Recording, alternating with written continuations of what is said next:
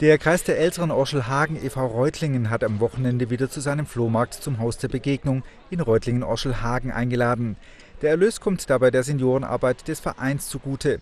So hatten die Beteiligten im Vorfeld jede Menge Haushaltswaren, Nippes, Schmuck und Bücher zusammengetragen oder beim Kreis der Älteren abgeliefert.